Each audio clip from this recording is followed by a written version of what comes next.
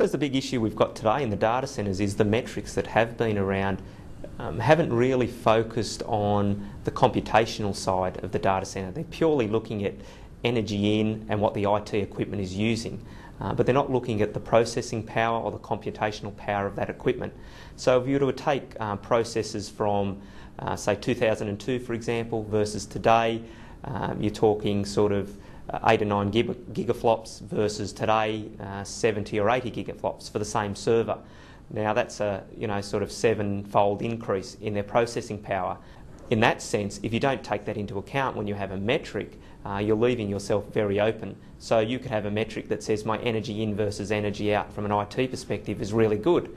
But in reality, the processing power of my data centre may be very poor. You really want to be looking at power in versus computational power, and then obviously energy consumed by the IT equipment in that space.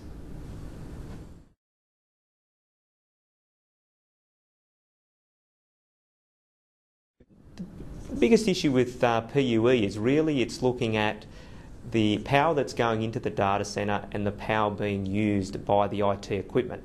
And as a um, a ratio, and I might have a one kilowatt server, um, it's running at 100% efficient, and I have a second server uh, running at one kilowatt, theoretically 100% efficient.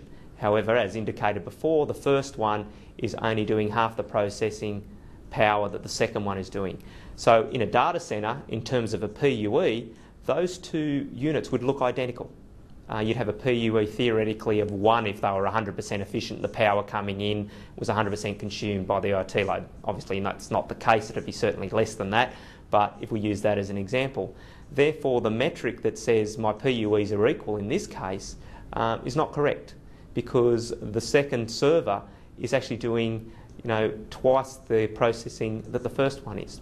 Therefore, that's the importance of CUPS uh, compute units per second because it is starting to take into account what the processor is doing in relation to the energy it is using. Um, and that is a very important metric. Um, Emerson has put CUPS forward once again as a discussion point. It's not to say this is the metric of choice and this will be the metric. Um, it's certainly out in the industry, and we're starting to see the green grid as looking at the moment at various metrics that do take um, computational power into account because ultimately that is what the data center manager should be looking for in terms of working out a metric, not just power in versus the IT equipment usage. It's power in IT equipment usage plus the computational power. The major difference between PUE and CUPS is that PUE is basically looking at energy in versus energy out um, at the IT equipment load whereas CUPS is looking at the actual work being done by the IT equipment. So the biggest positive with CUPS is the fact that you're taking the energy in, the work being done by the IT equipment, and then having a result based on that. And it should take into account, obviously, what the data centre is doing. So at the end of the day, if you're looking at PUE versus CUPS, CUPS is driving uh, the right thought processes in that what is the IT equipment doing in terms of work, whereas PUE is purely driving what energy is being utilised, and that may be efficient, it may not be when you take in the work that the IT equipment is actually doing.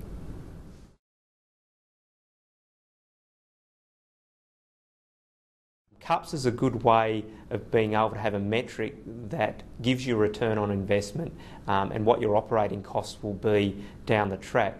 Um, the spend today, certainly if you're looking at putting new uh, servers in, for example, CUPS will take the processing power of that into account, not just the potential energy saving that the piece of equipment has um, up front, but it looks at the uh, processing power. So what it will do is, is give you an operational benefit down the track as well and a true metric to look at that.